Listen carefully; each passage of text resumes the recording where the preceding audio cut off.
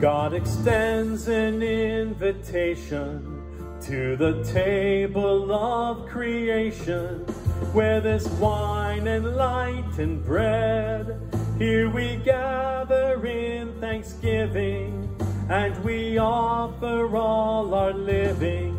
Here the feast of life is spread. Here the feast of life is spread. God extends an invitation to the table of creation where there's wine and light and bread.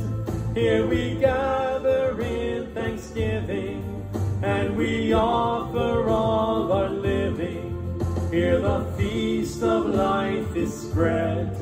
Here the feast of life is spread.